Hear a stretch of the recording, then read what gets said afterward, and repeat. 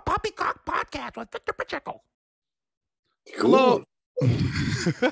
Hello and welcome to Papicock Podcast with your host Victor Pacheco.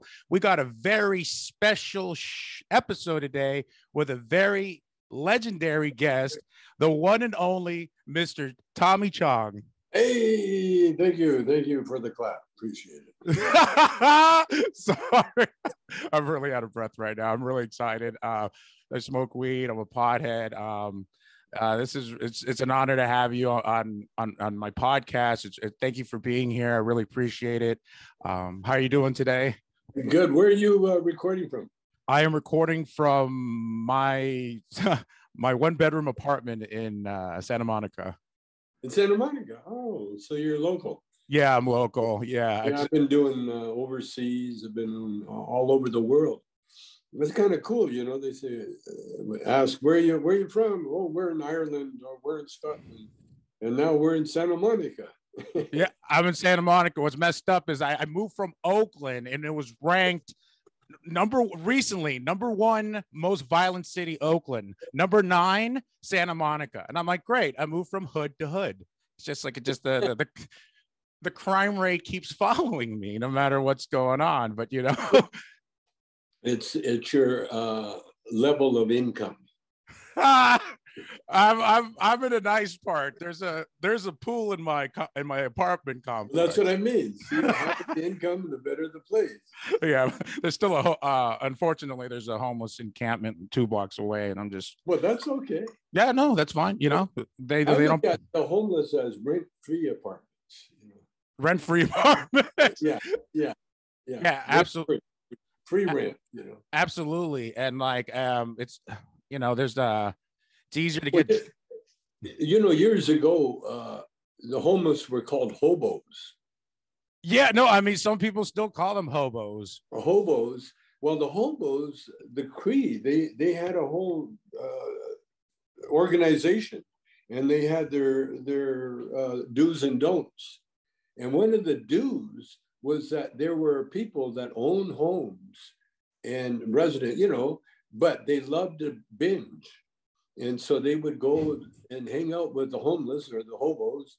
And uh, so they wouldn't, you know, go get drunk for a few days and uh, go on a binge and then, you know, do the hobo life, including cooking out or whatever you had to do. And then they would uh, go back to their lives.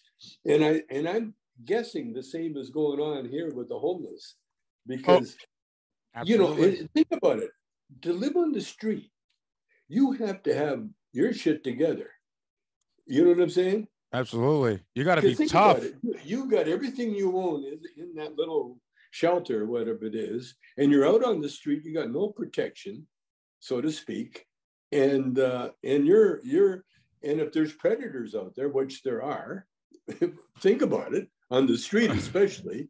Uh, so the ones that you know, I look at them in with a whole different uh, bit of respect because the ones you know that you see that are visible and oh, they're they got their shit together one way or another. You know either there's too crazy for anybody to deal with or or they're smart enough to know how to deal with everything. So that's my take on the homeless no for reals i mean like i just I, I i try i go out of my way to humanize homeless people by acknowledging them and letting them know I'm broke as fuck. And you know, you're broke as fuck when homeless people are telling you, oh, I'm sorry, I'll pray for you. so, so it's, think about it. I'm like, I'm crying in my car and I'm like, I'm a piece of shit. I don't deserve love. And this homeless person's telling me they're going to pray for me because I'm so broke. Like, holy shit like I'm doing like a, a bar show for tip money. Not even it's gas, not even you know, it's like two gallons of gas. Well, depends where you live. But uh right now. you, you know, that's all that's all good um, like warming up. You know, you know, when you go to a gym, you got you just don't jump into it, you know, unless you're crazy. You got to warm up, you know, and and that's that's that's what we're doing half our life. Mr. Tommy Chong, you're talking to the wrong guy about a gym.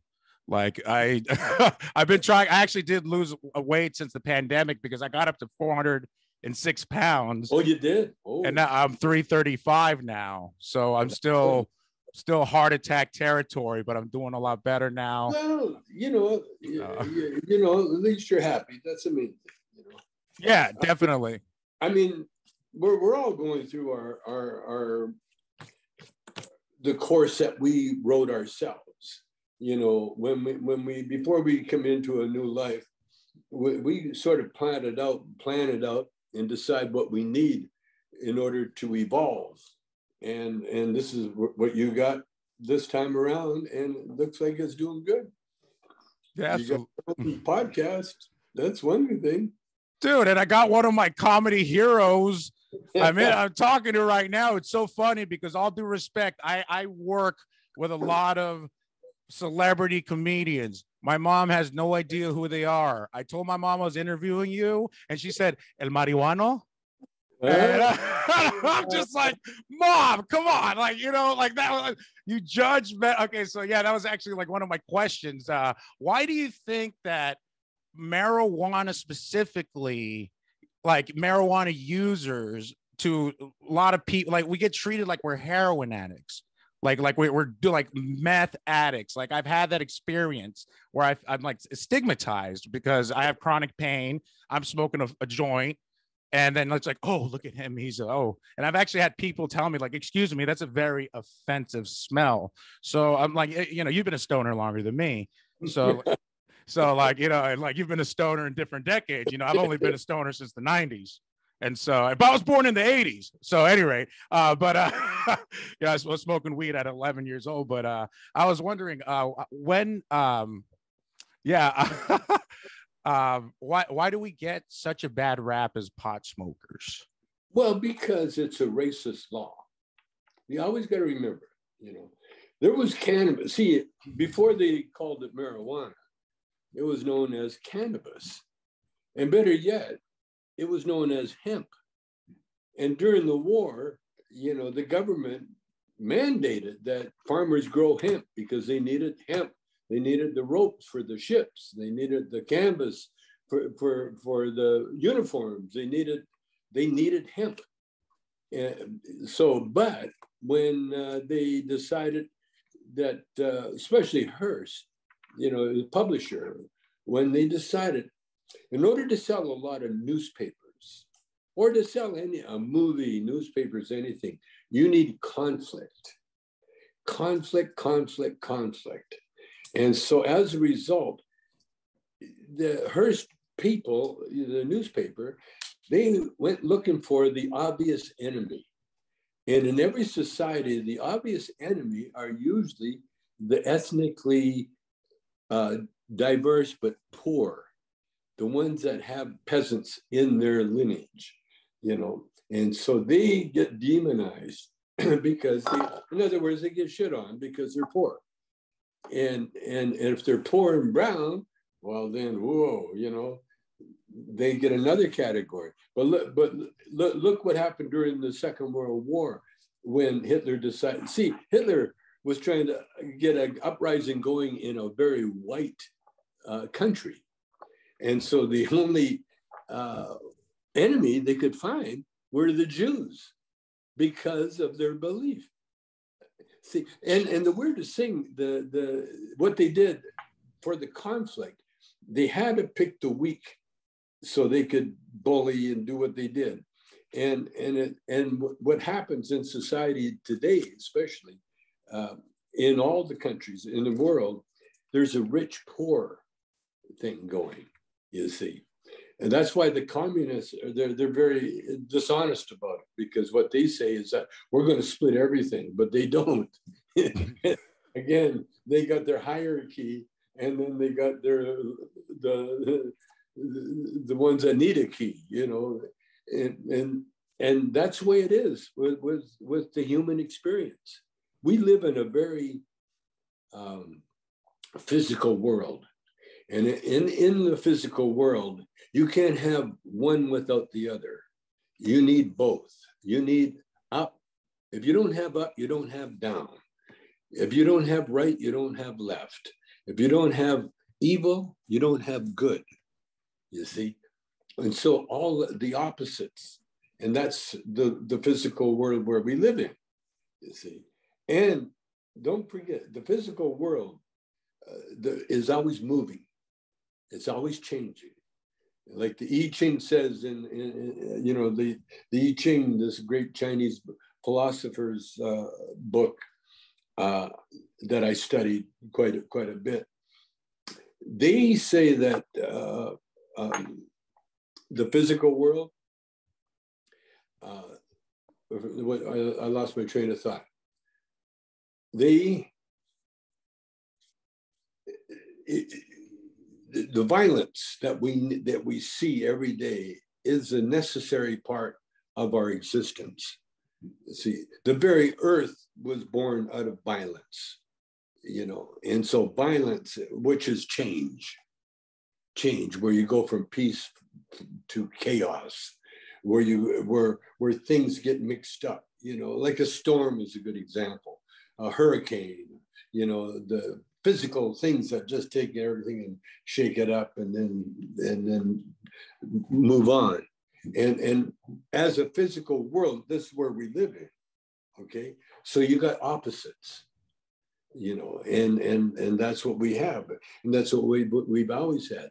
Like you, you got spanish in your blood right? Absolutely yeah.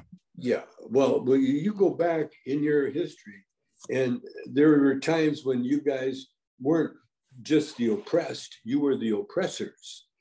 Yes. there was a time you weren't just uh, the, the peasant, you were the kings. The conquistadors. Were, yes. yes. Hernan, Cortez. There, yeah. There, there was a time when, when, when, like, especially with the Spanish Inquisition, where that if you did not believe in in in our Lord Jesus Christ, then you got tortured, you got murdered, you got boiled, you got the worst possible thing could happen to you.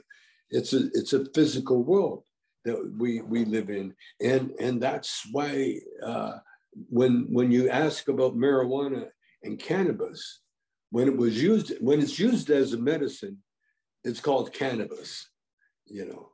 And when it's used for industrial purposes, it's called hemp. And when they want to use it for racial injustice, they call it marijuana. It's oh. all words.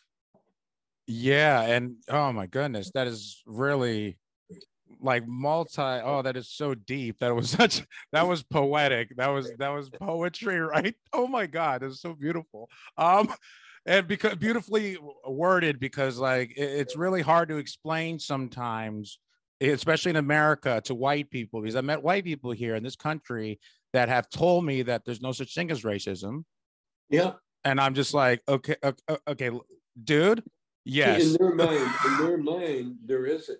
You see, I, I grew up in the, one of the most racist cities in the world, in Canada, called Calgary, Alberta, Canada. Now, it wasn't violent racism, you know, but it was implied and it was a belief system. You know, it was like growing up in a city of Trumpies, you know, where, where everybody believed in what Trump believed, you know. And and what it was, they would put up with black people as long as they were carrying a football or a baseball and, and they were, you know, oh, winning Jesus. the team, you know, then they would put up with the black people. In Calgary, there was one Mexican restaurant owned by uh, a Mexican uh, place kick. Of course, he was a, a, a place kicker for, for, the football. He, was, he, he, knew how to kick a ball. and, and he had a Mexican restaurant. And, and other than that, there were no Mexicans that we that we knew of. There were plenty of natives.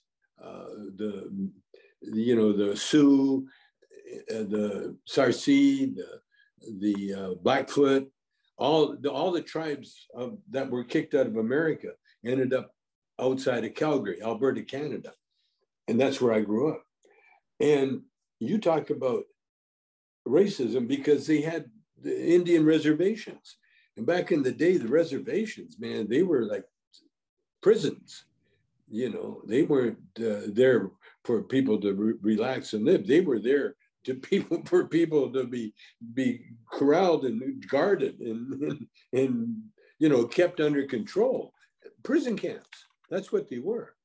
In, in fact, the Pope was just there uh, apologizing for for their the Catholic Church taking the kids out of uh, out of the tribes and forcing them to uh, denounce their Indian uh, heritage or their native heritage. I won't even call it Indian; it's, it's a native heritage, and, and making them, uh, you know, so they couldn't learn their language or customs or anything. They did that, and then a lot of them just got murdered, got killed for for you know racist reasons, and and so the Pope was just there. And by the way, I got to think. I don't know if you're Catholic or not, but uh, I I. Uh, I had such an epiphany a couple of years ago, and, and it just cracked me up. And, and what it was is that when you think of what Catholicism is, okay, it it's a by, byproduct of the Romans when they were in charge. Their God got got murdered by by the first of all the Jewish God and and then here comes Jesus, the prophet. And so the, the, the Romans said, you know, Baal was not making it. Baal was not making the cut. No one even give a shit about Baal anymore because, but they were talking about Jesus. And so what the Romans did, they said, okay, we will elevate Jesus uh, to God status, you know, and they did the one thing that Moses told them not to do, which is make a graven image of God. Yeah. exactly what the Romans did. The Christians did. See, early Christianity, they never had the cross as their symbol. See, the, the cross only came later.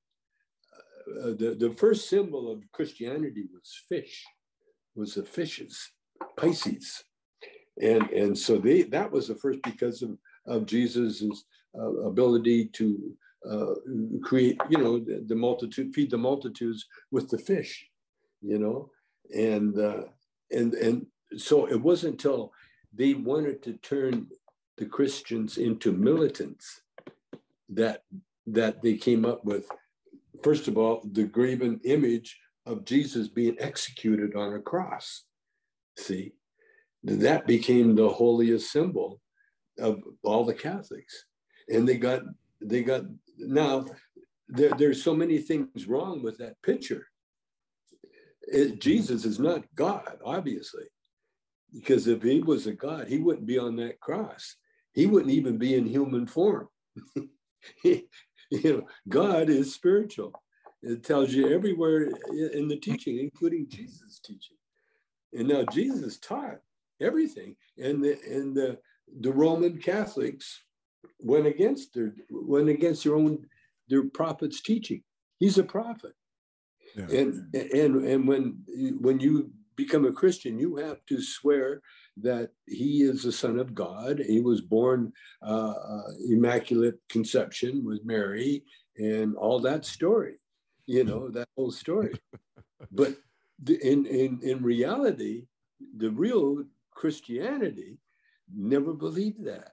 The real Christianity believed that God is spirit. And when you pray to spirit, when you pray to God, you pray to God in spirit. And, and God made everything that was made. And what God never made was not made.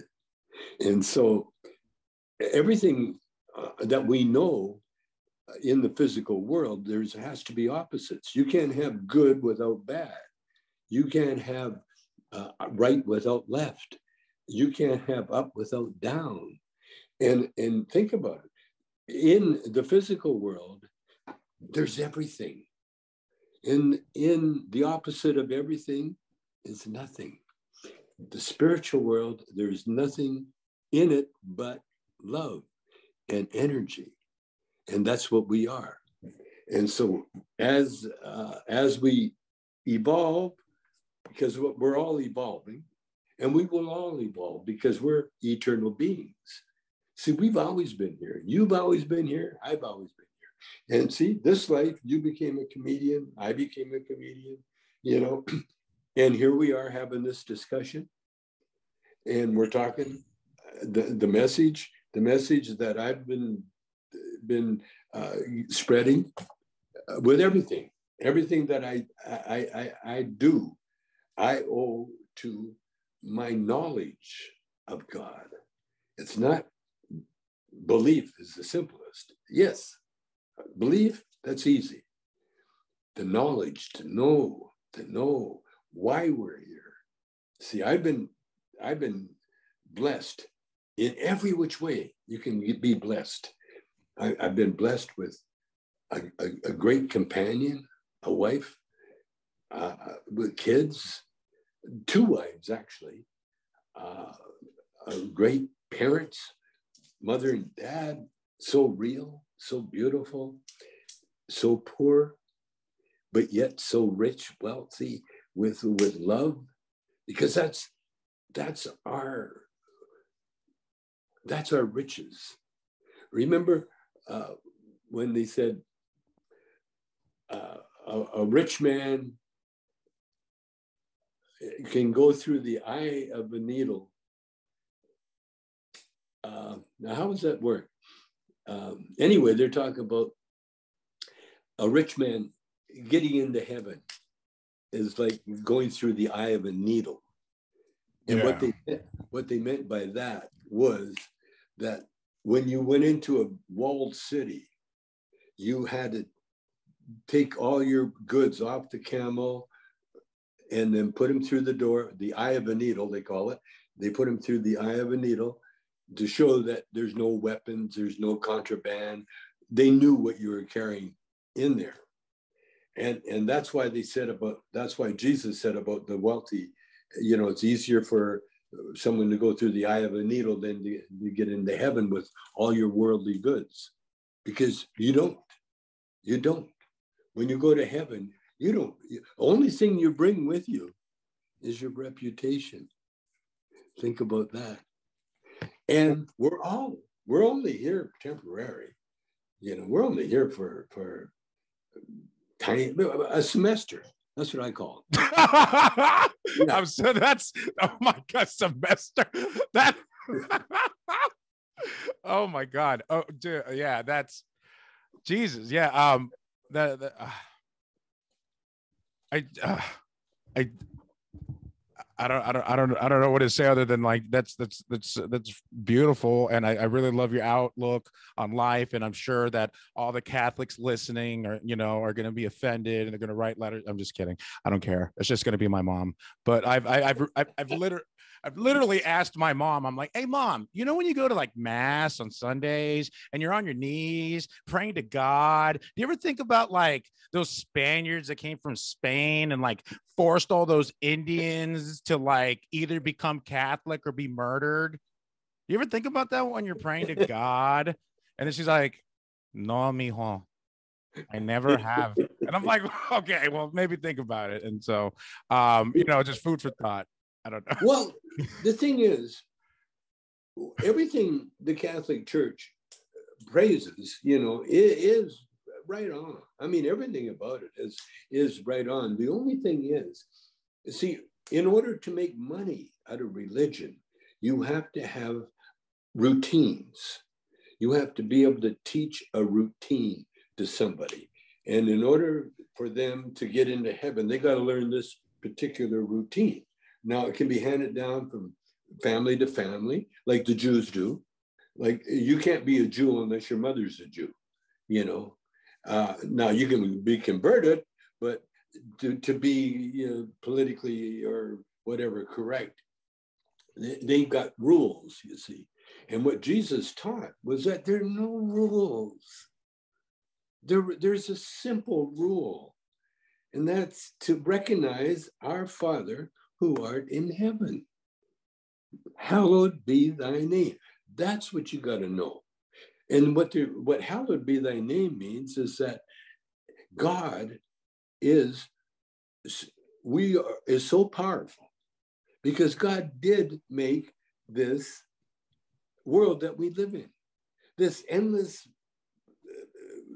uh, universes that apparently are endless in numbers themselves. And we still can't, there's no edge to anything. Everything is forever. And there's more forever and even more forever. And this is what cracks me up when they say the universe is expanding. of course it is. it's like there's a lot of things that are expanding, you know, including humans. yeah, absolutely. it's a physical world. Mm. That's what you do in a physical world. You either uh, go one way or the other, you know, and you keep expanding, expanding until what happens? You break apart. and you start all little, little, little bits and pieces. So the, the, the thing is, what we what, what we have to learn, and and oh, by the way, let, let me get real simple with it because I've been doing this. Someone asked me the other day, he said, You've been on 370 something podcasts. Why? Why is that? I said, Well, the word gets out. I get on one podcast and they said, I had Tommy Chong on, man, you got to hear this guy. Or, or well, uh-huh. Tommy Chong, period. Teacher Chong, oh, I want him on my podcast. So what happened to me, I was, first of all, I was blessed from birth, as we all are. You know, the story of Jesus being born in a manger, that's everybody's story, by the way. You know, it's not just Jesus, it's everybody you know, immaculate conception. The father was definitely he he was a, he planted the sperm, you know, DNA showed that, but the mother does all the work. You know, let's face it. Mm-hmm. You know, and and we are all from heaven, every one of us, and we are all are all eternal beings, every one of us. And it doesn't like the universe is expanding, the human race is expanding. Everything is expanding because this is this is the physical world. Now what happened to me i got turned on by this guy here.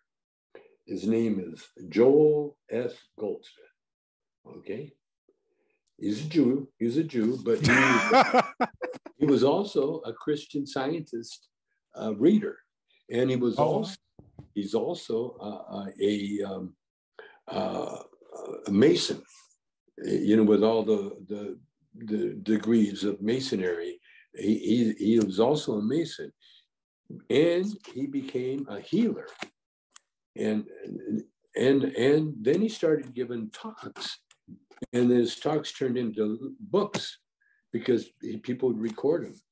and he, and what he would when he would talk, he would channel the the God. He would channel the spiritual world and they would talk through him and and and it became this book this one's called the master speaks anybody in the book he explains uh, our life especially the bible explains uh, the the bible was written by by men and with great imaginations and the great writing because you're when you're spiritually uh, uh when you believe in God and you're you're on the path, then everything you do, He will perfect that which concerns you. So no matter what you do, you do it at the, the, the highest level that you can possibly do. Like me, for instance. I've played music with the best in the best bands ever in Motown, you know, I've uh, directed, been in movies, starred, directed, and uh, produced movies. I've never went to school. I, am a high school dropout. You know, I couldn't pass, uh, get into grade 12 because I, I couldn't fathom uh, algebra.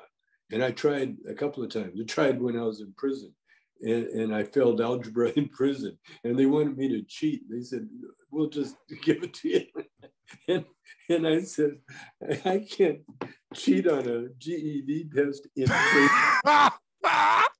oh my God, Jesus! I guess there is honor in the prison system. I mean, that's oh, very oh, admirable because people. That, that. I mean, I didn't have to go to school, but it was ordained for, like, if you, you know, you're a kid from the ghetto or something, never had a high school, you had to go to school while you're in jail. And so I took that up right away. I worked in the garden actually when I was there. But what I'm saying is that I learned real early, and by the way, I do this. I, I talk about this on most of the podcasts that they let the ones that let me. And, and what what happens was that real early in my life, I my mother had TB, so she was she was quarantined. That's why the quarantine thing never bothered me because I, I never really got to hug my mother until I was uh, eight, nine, about eight years old. You know, because she'd been five years in quarantine. And, you know, and I was like three years old when she got taken away. And then I went to a hospital for a year and then I went to a, a home, the Salvation Army home, like a, uh, yeah, orphanage. And so I was there for, for a couple of years. And, uh, and, and so that's my early, early life, you know. I've been alone, but not alone. I've been with people all my life. See, not like some kids, you know, they were with their mom and dad their whole life or their uncles or whatever, you know. With me, uh, I was with nurses. My first memory was in the hospital with with with beautiful nurses hugging me and going, "Oh, look at it. he's so cute," me around. so so I got a real nice titty fixation real early in my life. Found out nice and early you were straight with those boobies. Oh, uh, yeah. I mean, and then, and then, then, then, when I went to the home, because I was so small, uh, and I, I just stayed out of everybody's way. Uh, you know, my brother had a hard time because he was big enough to get bullied, and and so then he was tough enough to be become a bully if he wanted to be. And, and so my brother, he, he kind of watched my back. But the whole point is when when you discover God, like I did, because I was in the Salvation Army home, which was the orphanage, and they you, you never ate, you never did anything without praying for a, a whole lot of long time. but the thing was, the food was so shitty that the, takes as long as you want. I can't eat this crap anyway. and, oh, that's horrible. I, I I learned the value of a lot of things the hard way, but I also learned the key, the happiness key. It's called the golden key. Uh, there's another writer named uh, Emmett Fox. He talks about the golden key. Now, the golden key opens uh, everything for you. And, and what it is basically is this here it's how you yourself see the other person.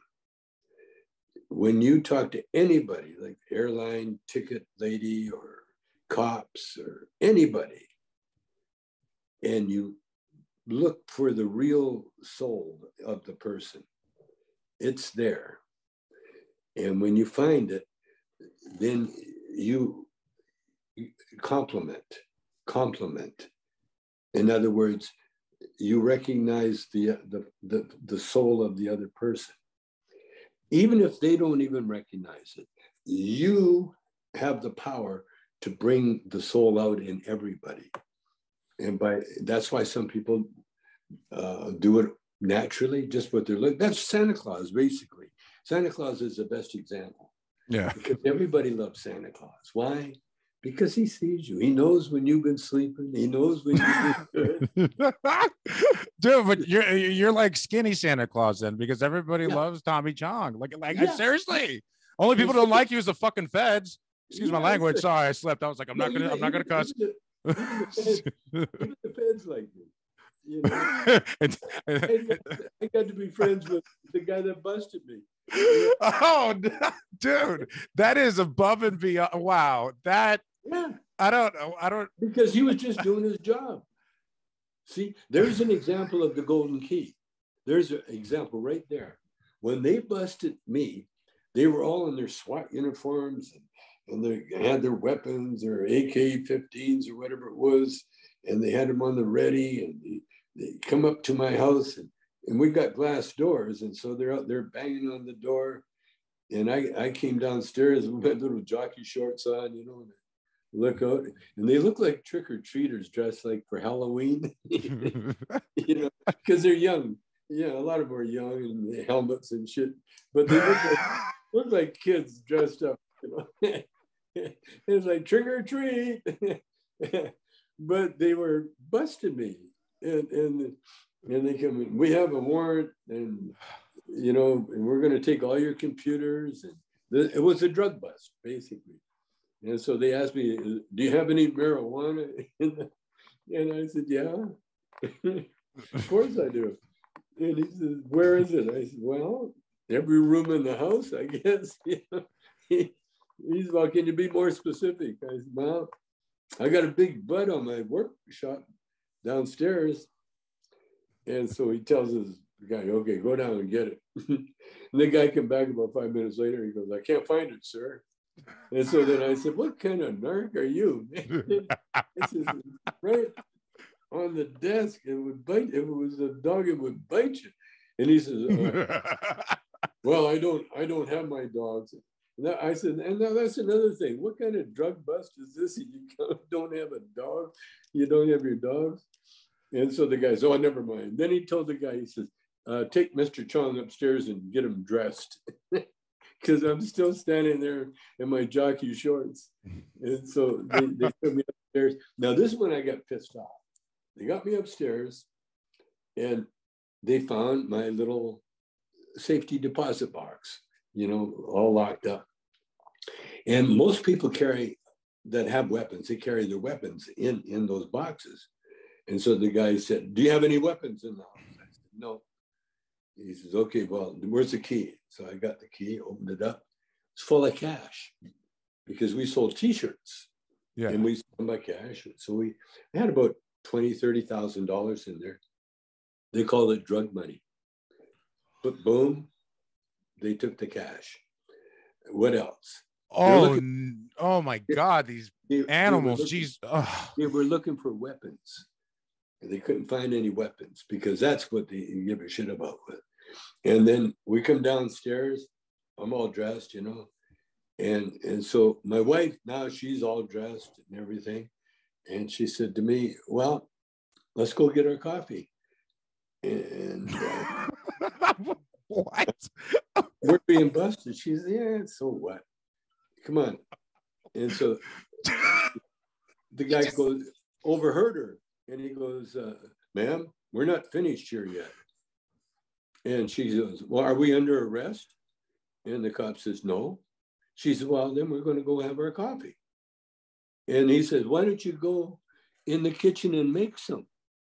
And there was a woman uh, also busted with a, from the post office. And, and he said, And so and so will help you. And my wife says, Fuck you, I need my Starbucks.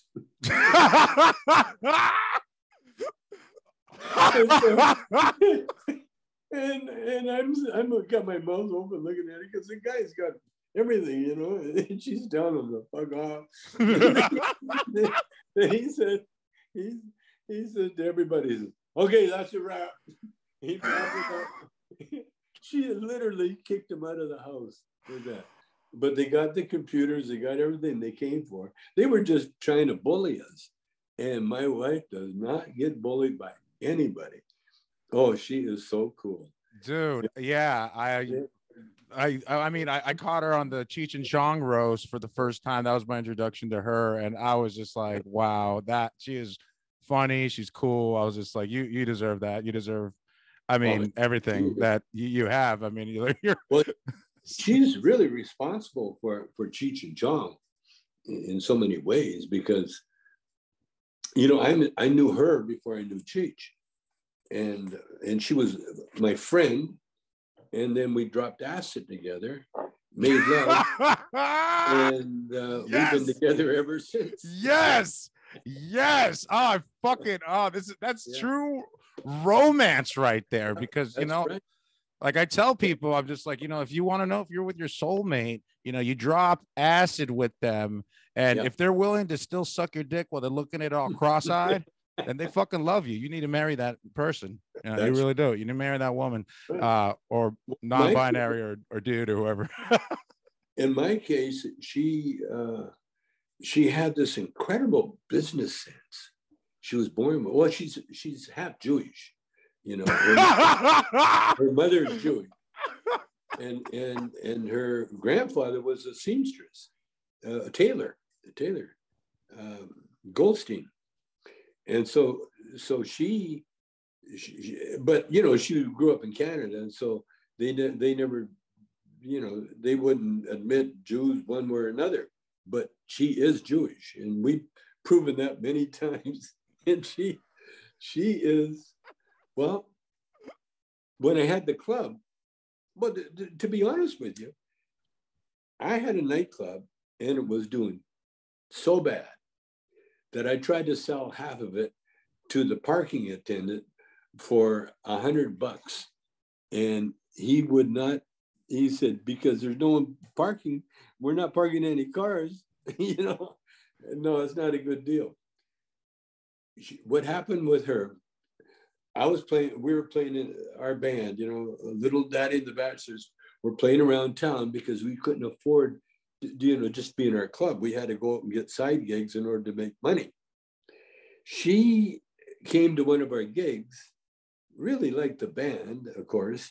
And, uh, and then when, uh, you know, we met and then she, she had me drop her off at this other club, the, the hip club but she was so young at the time that the club wouldn't let her, her and her sister in. They weren't regulars by any means. In fact, their parents were out of town, and so the girls had no uh, chaperones or anybody to tell them to be anywhere. So they were in the town being wild. And but when she uh, went to the first club, they wouldn't let her in. But she already had the address of my club. And so she told everybody within earsight. Now, she's gorgeous. She is gorgeous, always been gorgeous. And so she literally pie pipered everybody from the other club, the, the hip club. She, they followed her over to our club. And our club, after, after that night, stayed packed every night for so, uh, close to seven years oh my all god. because of her saying, "Well, I know a club where I can get into," and then we were we were just friends, and the reason we were friends was because she did not want to have a boyfriend, and she didn't. Every time she'd go out with somebody, they would fall in love with her because she's so beautiful, and then they got very possessive, and and it was just no, she wasn't into that at all.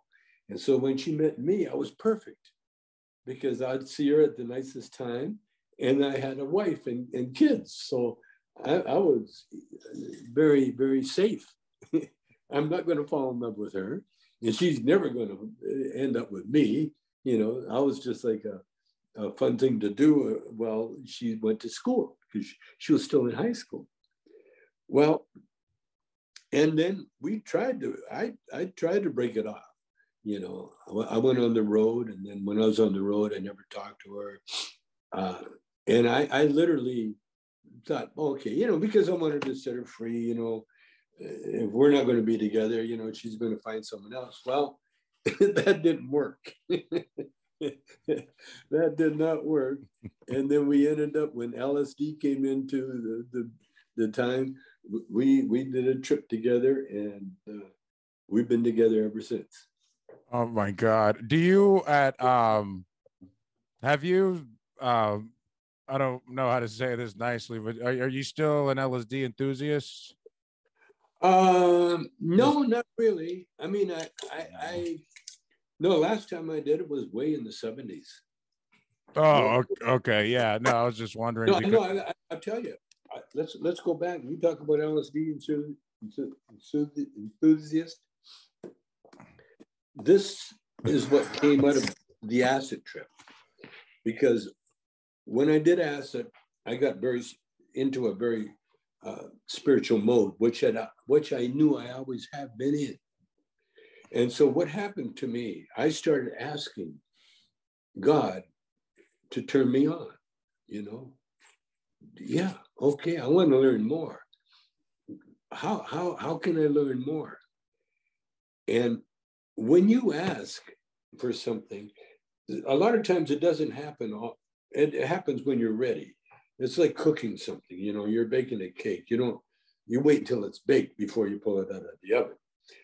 And that's what happens with a lot of humans. You know, you're, we're evolving, but we're not that quick that everything can come to us all at once. And so when when she when we got together and then I started going up the ladder as far as entertainment goes. You know, the band got better because we got a, a, a singer. Again, very serendipity. You know, uh, we needed a drummer. The drummer that we had literally quit the band, and then he's ended up with a group called uh, Three Dog Night, and that was Floyd. Uh, that was our original drummer, and Floyd was also my brother-in-law married to his first his sister. and so we had another singer named Bobby Taylor. He, he passed away a few years ago. Bobby Taylor was this genius singer that was troubled, you know, but he was troubled. He was he was damaged goods, but he could sing.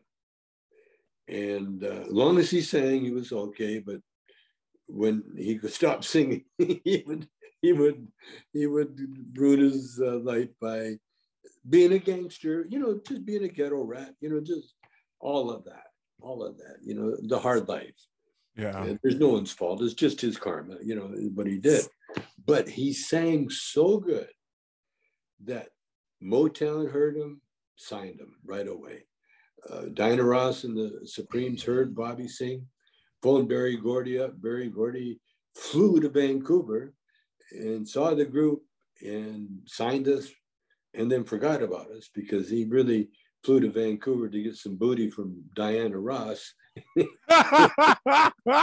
it, was a booty call. and, uh, and a little bit business with pleasure. And, uh, and so we ended up with, we up with Motown. We had a hit record, which I wrote. And then, um, that's awesome. And then the Motown took Bobby, and then I was left on my own. So I ended up coming back, and then I then I uh, I started getting into improvisational acting again, very serendipity, you know. And uh, next thing I know, I, I, I changed the, a strip club that we owned into a uh, improvisational uh, club where we could do improv comedy and that's how Cheech and Chong were born. That's where I met Cheech, and and then when I met Cheech, then we got fired. We always got fired from everywhere. Why or how? Went, yeah, well, we got fired. Then we went on to another gig, and we went further up the ladder. Kept going, even to the point where in in LA, I once owned a comedy club I found an empty club, talked to the owner in to let me have it for, for a night, advertised that we're shooting a movie, needed extras, packed the club for one night. And Cheech and Chong performed along with another band. and uh, I, I had a chance to own a, a, nightclub, but the owner was so greedy that, that, that he tried to screw us out of nothing. anyway, we got discovered the next week by uh, Lou Adler and uh, started making records and started becoming, you know, world famous. Yeah, absolutely. And it's just, um, I, I caught your movies.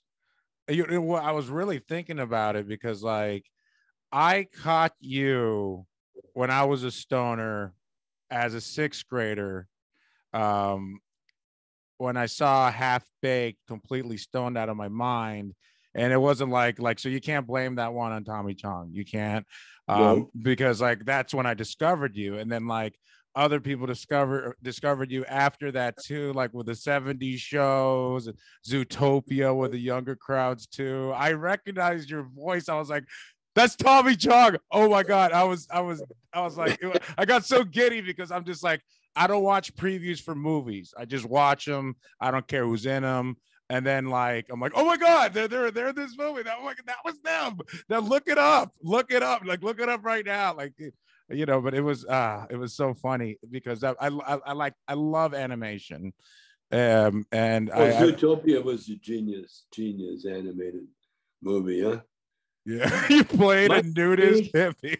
It changed my life, really, because for a long time, you know, I was a, a bodybuilder, and uh, and anything overweight was like, oh, you know, uh, it was terrible. But then I saw Zootopia, and then I realized that that in in the jungle everybody exists. There's there's a, a tribe of everything and everybody, and and you have to respect it and appreciate it and enjoy it, and that's what I did. You know, it changed my whole attitude. Even to this day, even even my son, my son gained a ton of weight. Um, it was a what do you call it, a sympathy pregnancy with his wife, she was getting pregnant. Oh. And so, and he was a foodie anyway. And so he just went all balls to the wall and just came up like, like now he's in the process of uh, getting back to his, his, his fighting weight. But, yeah. but he, and he wanted to be big. He wanted that experience, you know, and, and being his dad, you know, I, I mean, to me, uh, I've always kept around, I've never gone over 180 ever, you know, just 175 usually. And, and, and at first, you know, he, he, he came to me earlier and he, and he said something like, uh, you know, it was, he said, Dad, you went through this phase, didn't you? And I went, uh, getting heavy. And I did. I did. When I first started bodybuilding, uh, I was real skinny. And so I wanted to gain weight. And so I started eating. And I just never stopped until I was 200 pounds, you know, close to 200 pounds. And uh, so I, I know the feeling. And, and so, but then, you know, then I met my wife. Uh, and then when we started doing comedy, especially started doing movies, you know, then then I'm and, and, one of the reasons I wanted to go to California was I, I learned how to bodybuild when I was uh, from bouncers and all the dances that we played at. You know, all the bouncers were fitness freaks, and and I, I, I couldn't drink, and I wasn't that much of a stoner, you know, but I was definitely into uh, bodybuilding. I got into bodybuilding when I was 15, I guess, and I went to the Y and, and the weight room was empty. no one in there. And so I went in there and uh, started playing around. And next thing I know, I'm reading books and, and learned how to do it. And then I got turned on to the to the Arnold crowd, you know. And so I was in LA for oh good, I guess about five years. And and during that time, I, I uh, ended up with Cheech. And, and then, but I was still into the Gold's gym. I was one of the original Gold's gym at his first gym, the very first gym. And, uh, and so I was seriously into bodybuilding to the point, you know, we, we, Cheech and I appeared on Arnold's uh, Mr. Olympia one time because uh, I was so connected there but but I learned, like I said about life experiences. You know, when my son asked me, he said, "Dad, you you've been this you've been like this before," eh, and, and it was around two when I when I got married to my first wife, because I, I I put on the the weight, but it was I wanted the strength more than anything. I've been skinny all my life. And so when I started, you know, filling out shirts and shit, I said, whoa, this is this feels good, you know, and then strong. It was it was a nice feeling.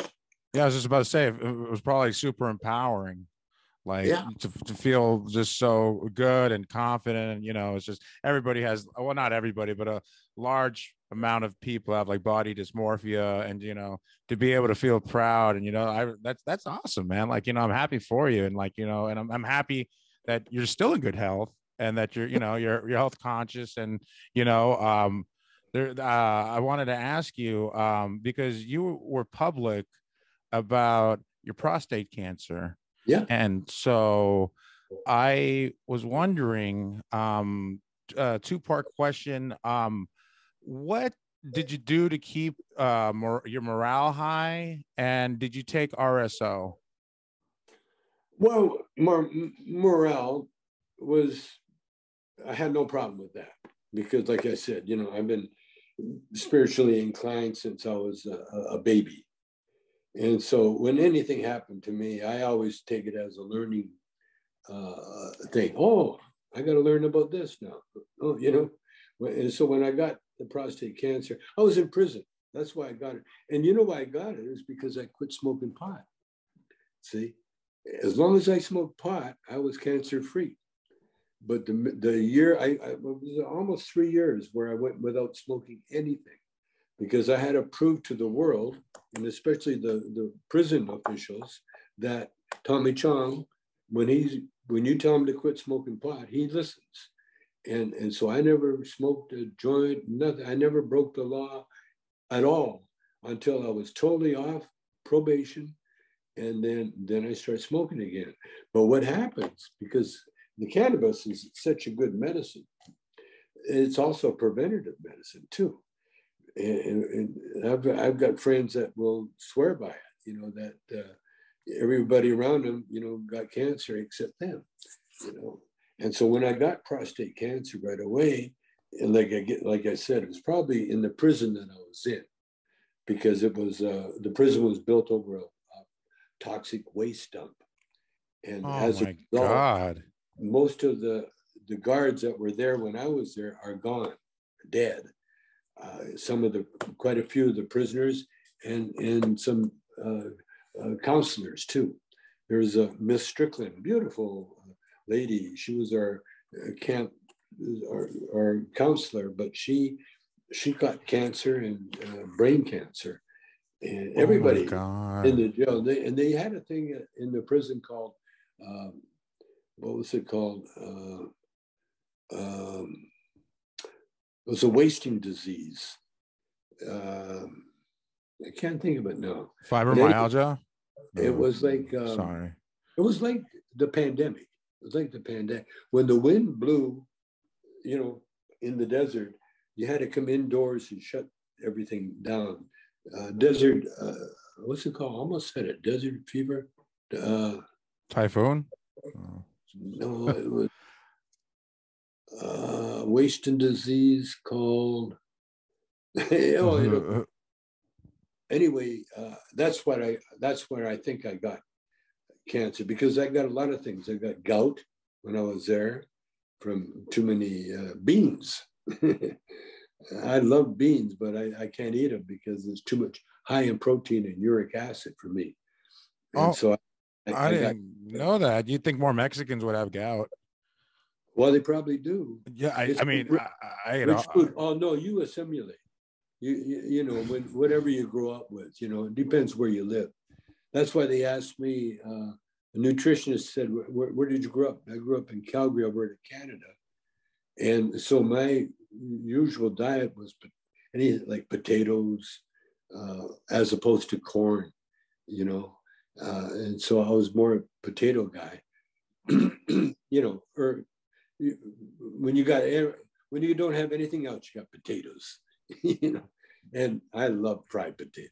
I love scallop potatoes. I love, I, I love baked potatoes. I love a potato with with all the, the stuff on it. Yeah, still do. But I got cancer, and when I when, when I got it, I went holistic right away. In fact, I had a healer in um, British Columbia, and, and and we fought it for a good God, a couple of years, you know, because they tell you when you get prostate, don't worry about it because you'll die of something else before that kills you. It's very slow, slow acting in some cases. But in my case, then I, then I got on Dancing with the Stars. And this when I still had prostate, but I wasn't doing anything with it. Well, Dancing with the Stars, I, I, I ended up with a tumor on my in my rectum, and a real pain in the ass, in other words. And uh, oh my God, Jesus! Sorry, that's hilarious, but that's I'm like my heart's going out to you, but then I'm like, wait, do I laugh? I'm, I'm fucking laughing that I'll apologize. Yeah. That's a real pain in the ass. It was a real oh, pain. Oh my god! So wait, was it like? Oh my god! That's so so. To uh, it was a tumor, and, and it was probably from all the stress that I suffered during Dance with the Stars, because that's when I got it. It was right around that time. And, and so when you got a tumor, you don't fuck around with that, you know. And so right away I went into, I got one uh, cancer doctor to look at it, uh, to stick his finger up my butt. That that's what happens when you got right. Uh, what do you call it? Uh, cancer. You know the what what what do I got? Prostate. Prostate. Yeah. Yeah. Well, when you get a tumor, now you get the finger up the butt. See, and they feel around for the tumor. And and, and do they sedate you at all, or is it like you're sober, or do they sedate oh, no, you for that? No, you're fucking sober, and I mean it's it, it's you're being violated. Dude. Yeah, that's that's what I'm saying. It sounds like I they should at least give you some local anesthetics or something, or put you out entirely. You know, that's. Listen, I, I joke with these guys. I put on put on some jazz, light, light some candles. oh. Use a lot of lubricant, man. A lot of lubricant. oh, my God. and there, and so I ended up going to this one doctor, which was a mistake. And, and he's not in, in the business anymore, but he was an old army doctor.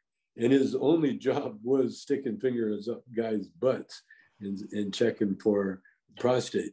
That was oh his job. Oh my god! So oh was, my god! And he wasn't wasn't gentle. They're never gentle, and and you get violated every time. But you're you got cancer. It's fucking cancer, and it's a tumor. So then I went to. Uh, first of all, I, I arranged to get a doctor, a surgeon. He's going to remove it. And the old way of removing it was really bad because they they had a whole thing the talk they gave you. And it was it was really bad, the old way of doing it. And uh, but the new way of doing it is with uh, the computer. You go in there uh, with the with the cameras, and then you just cut out what needs to be cut out. There's no violation of anything. And so I ended up with that guy, thank God. But when they took out the tumor, they also cleaned out the prostate. So the prostate got radiated at the same time. And so I, am all cancer free. Praise then, God. Praise God. Then they moved the, the exit around to the front. So I have a colostomy bag now. And uh, which, uh, you know, right away as a comedian, I, I named it the Donald. Jesus Christ. oh my God. Yes, that's that's so funny. with hot air and shit. I was unaware of that, nor that. And, and I put it in my act when I was doing stand up. I used to, I used to put that in my, uh, do my act with it. And uh, needless to say, I, I, never got called back on many gigs. You know, people were that offended by the by the by that joke, or, or just oh no, the, whole, I, I, would do the whole talk about the the prostate, you know, and the and the the bag, you know. Yeah. And and but it saved my life, and and I had other friends that they're still alive and, and they have the bag. The bag will save your life, you know, because it, there's a shortcut now, you know, and there's a lot of pluses with it. And, uh, and oh. uh, Ernest Borgnine, remember Ernest Borgnine? Uh, no. Okay, he was in a show called Marty, and he was married to a very beautiful lady, and he got old. Like he was, he was in From Here to the Eternity with uh, Frank Sinatra. Mm-hmm. He was uh, the bad guy. Anyway, he was uh, getting up there. He was like 20 years, I think, older than me, and so. But the word out was that he he was still sexually active as old as he was. He was like in his 90s, you know. And so I met him one day. And so I asked him, Ernie, do you, do you still have sex? And he could barely talk. Then he goes, I masturbate.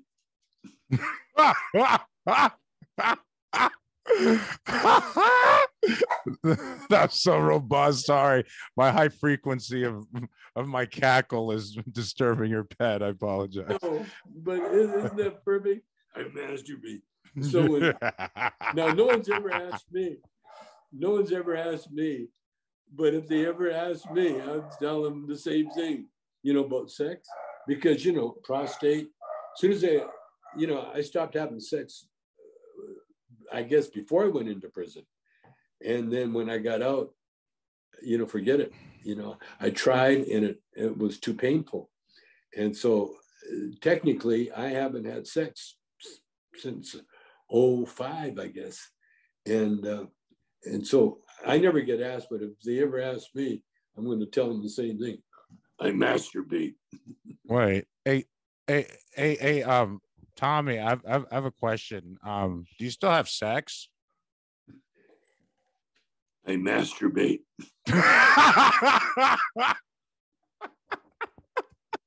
oh my god! I mean, I don't know. I guess there's other things you, could do, and you know. I got, no, I got to tell you. First of all, I'm with it, a very experienced uh, guy. You're talking about yourself, right?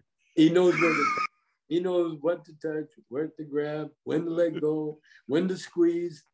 He, he's a pro. He's one of the okay. And and the thing you need to make it work is a great memory and a great imagination. See? If more people would just stop there, there would be less people in jail. There would be less people uh, in court suing people. There would be less violated uh, ladies or guys. You know, I heard this joke. My, my daughter sent me this joke. Ray Dawn. The cops pulled over these two priests, and they said, uh, "Oh, we're looking for uh, a couple of child molesters." And the priest says, okay, we'll do it.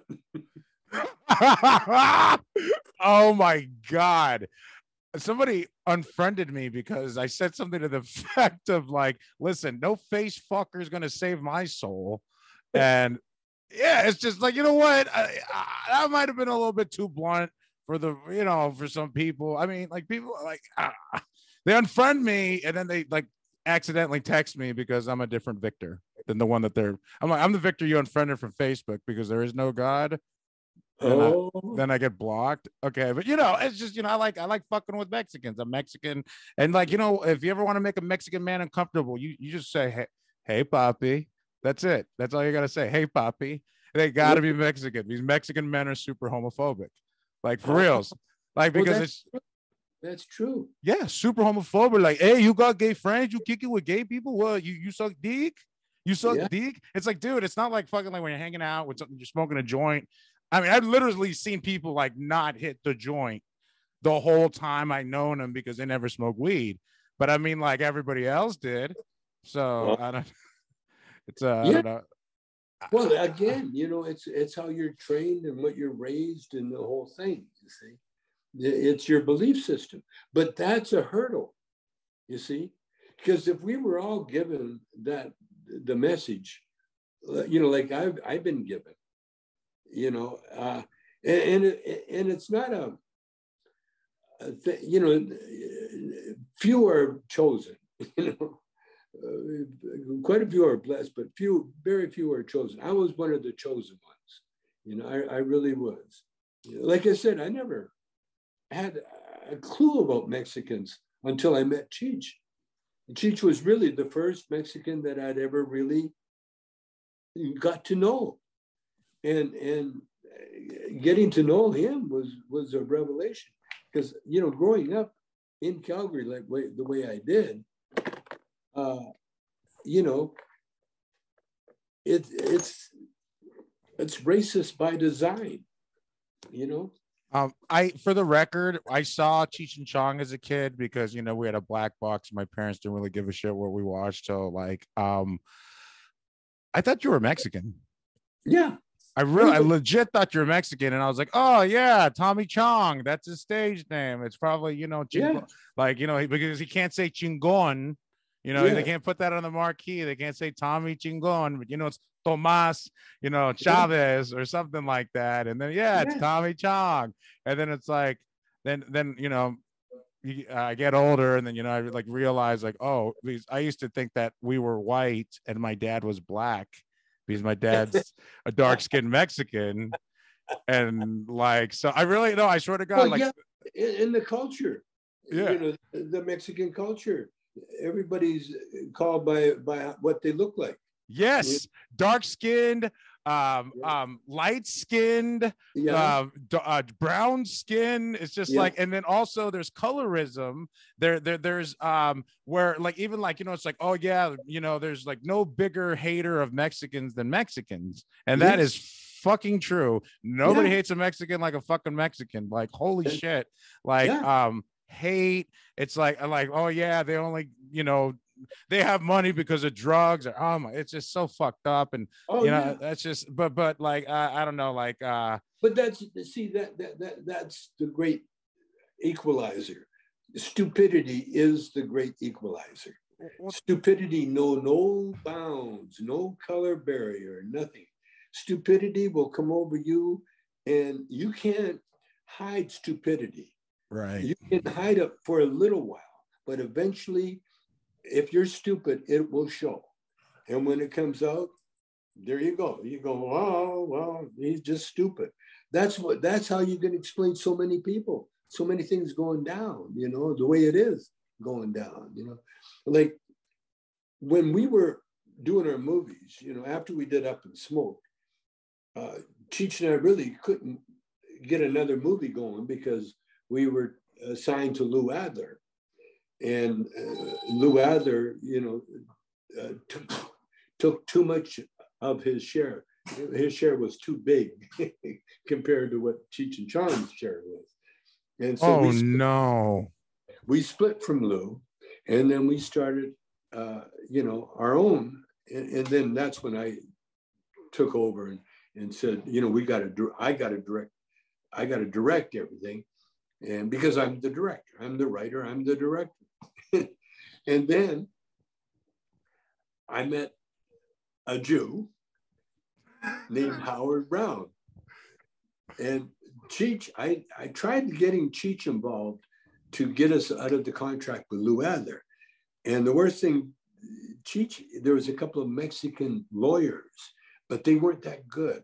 You know, they weren't they weren't that good. They were they look good, they dress nice, you know, very good looking, and they wrote the good haircut, you know, but they did not how know how to deal with Jews.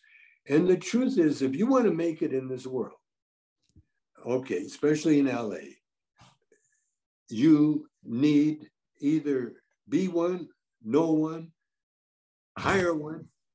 You need a Jew, without a doubt. You need a Jew.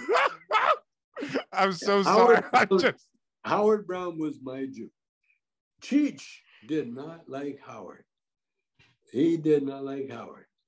Cheech's Jew was New York. Wait, Cheech's Jew? Jewish? Cheech Jew. Like he, he, wait. he hired a Jew in New York. Oh, oh, I thought you I thought you said he's a Jew. No, no. Like, because there's Mexican I, Jews. That's what I thought you were saying. Oh right yeah. now. Oh, I I know. I Oh know. no! Oh no! No! I thought you were telling me right now that he was a Me- that he is a Mexican Jew, No. or or or was back in the day, or I don't no, know. No, Well, not at uh, all. Be- What because he people. did, he, he got kind of hung up with Geraldo Rivera, you see. And Geraldo Rivera is half Jewish, but that's not good enough. It wasn't the right half. We needed the other half. we didn't need the Latino half. We needed the, the Jew have. Well, yeah, you know, you get a you know better rate with the Mexicans because you know that's somebody's cousin, and you know they they know Oh. each other from back. Each family knows each other from back from you know a certain city within a certain state, and it's Oh, just yeah. like, oh yeah. So all of a sudden, it's like, yeah, that they, I have to hire them because Yeah. you know, like my aunt got fingered by their uncle. It's like, what the fuck? Like, I don't know. why, why do I gotta you know pay pay for other people's misdeeds? Cheech, Cheech did not like the Jew that I hired. He didn't like my Jew at all. Is it Uh, because you hired them, or were they just like like Well, making him do shit he didn't want to do? Or oh, sorry, that might have been too Howard- forward. Howard Brown recognized right away that I had the power. You Yeah. see, whoever d- writes and directs holds the power. You see, that's the power. And I was the writer and director. And so uh, we did uh, what the four movies together. And then then Cheech got really tired of being of me being the director. So he he went on his own and uh, did uh, Born in East LA. You know, that was his his uh, solo, and that was why we broke up. You know, he, because when he wrote his movie, see, when I wrote my movies, he was uh, the star, not just a co-star. He was a star. But when Cheech wrote his movie, I wasn't even in it. Oh, oh man, that. Uh, I mean, ah, Jesus Christ, I don't want to get involved, but Jesus, that that ah. I'll get involved. That's okay. You know what? That's really fucked up. I'm gonna fucking go on record. That's fucked up. And Yeah, that, like, like that, uh, dude. I would have been fucking kissing your ass if you would have been the fucking brains and uh, it made me a star. You made me a fucking star, dude. I'm making fucking movies. You're you're and, and whatever you want, bro. You want to direct it. You want to help co-write it. You want to change some scenes around so you can like fuck like 20 chicks in the in, in, in my in the feature film. Then yeah, dude. Yeah, because you're helping you you. Uh, uh, you both helped each other become stars, and, and you like, you, and But what what especially happened, you. what happened? He he was raised. He used to be an altar boy. Yeah, He was an altar boy. His dad uh, was a cop. Ended up a sergeant of LAPD. Taught criminology.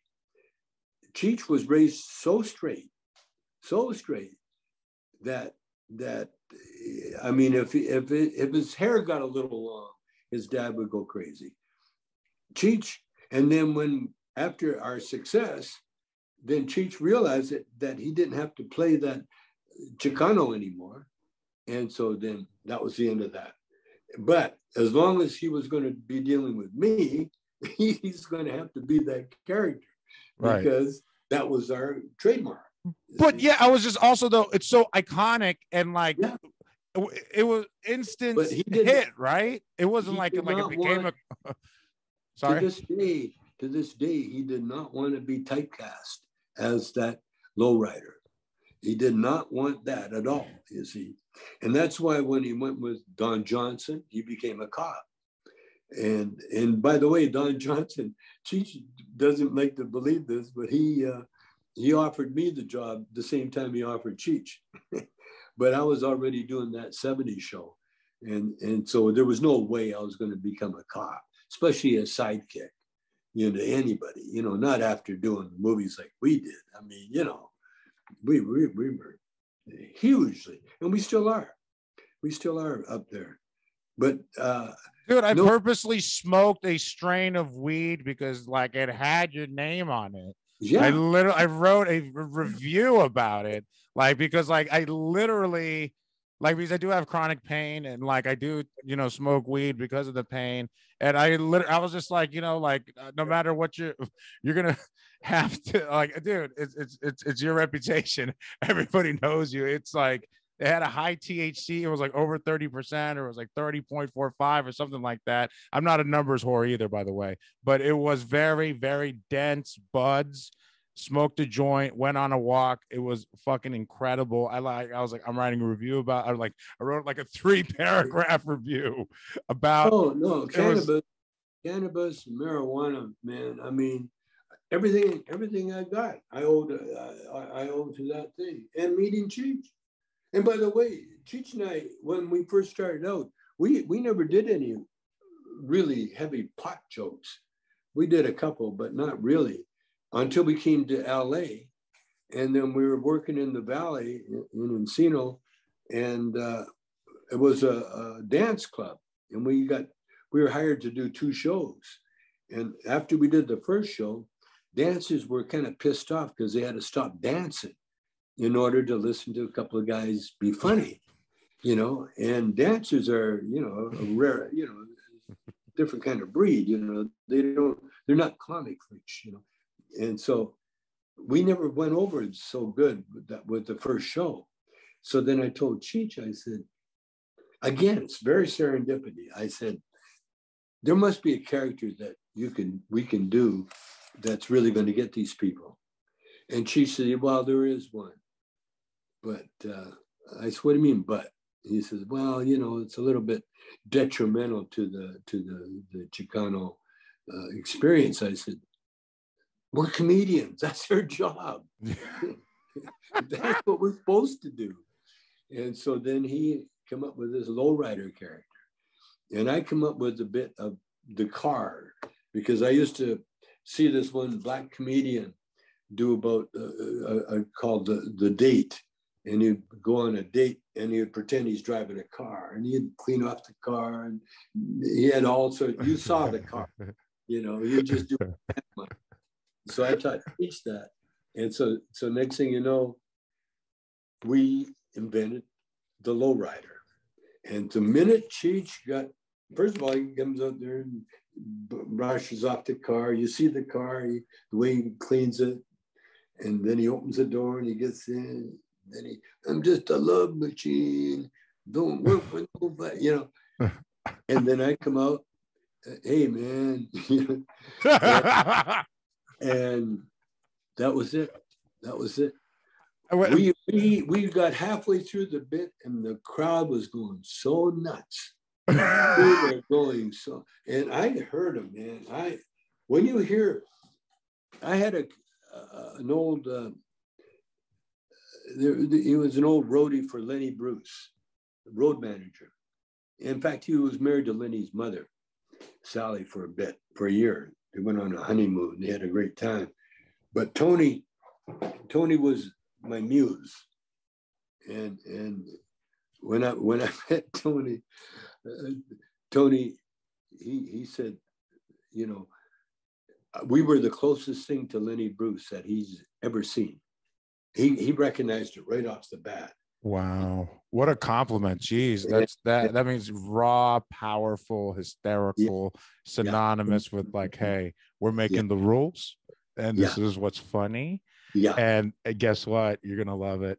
And um it's fucked up because sometimes comics never learn that.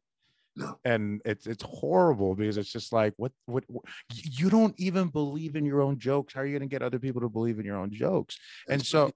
And I'm writing like I'm sorry, not I'm writing. I just finished my first screenplay. I'm trying to I don't know how much I should reveal, but it's pretty much like the I'm trying to I, I I'm trying to emulate um I will not emulate, but I'm just trying to make like like a, a um the next Mexican Stoner Friday, but it's not Cheech oh, and Chong. I'm not stepping on any toes. Great. I'm not stepping on any toes. No, no, no, no step all over. no, no, no, uh, it's just uh, no, no. The having because I've done stand up comedy with yeah. a partner before, and yeah. doing stand up comedy with a partner, in my experience, has been like way harder than doing it by yourself because oh, yeah.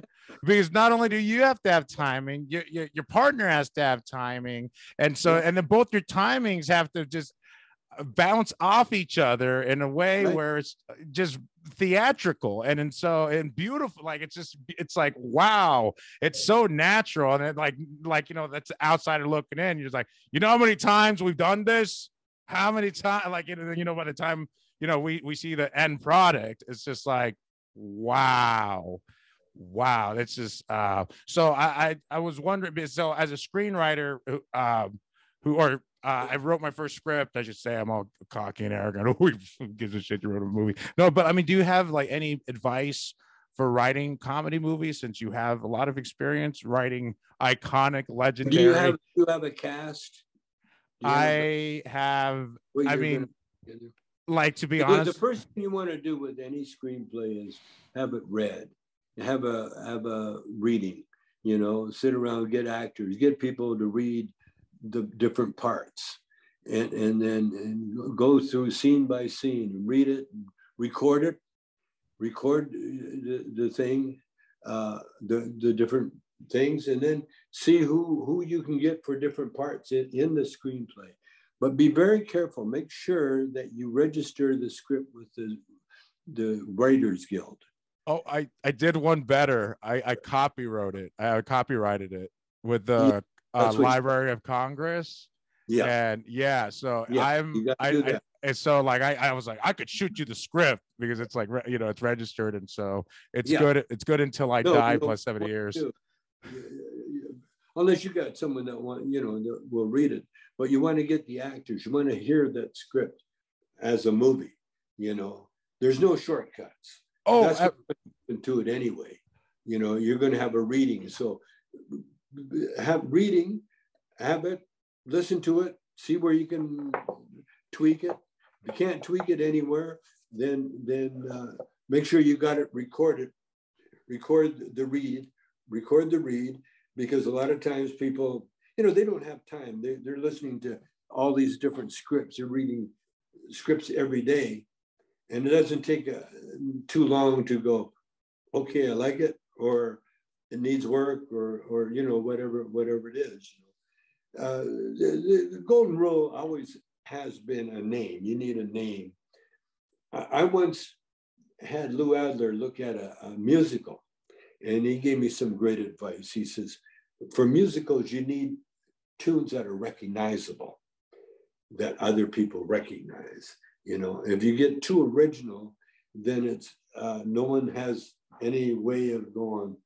Uh, yeah, investors.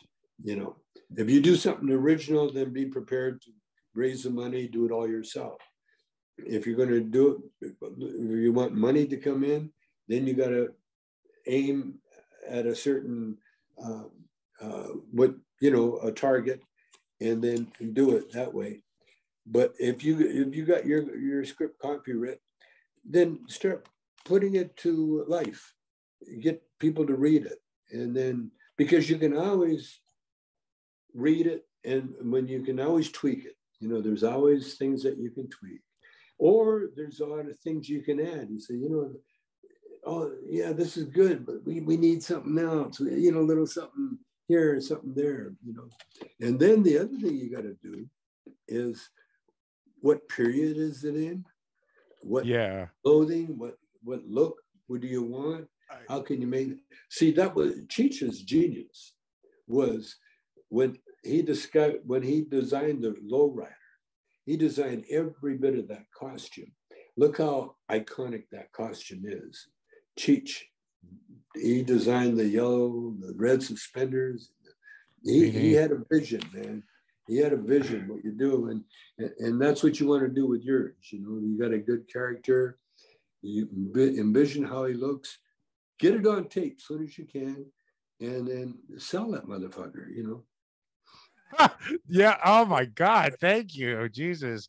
Oh no, because like I and I'm not trying to name drop here, but like I made a new friend um who's actually like he used to be the main writer on Phineas and Ferb on Disney. Um Oh.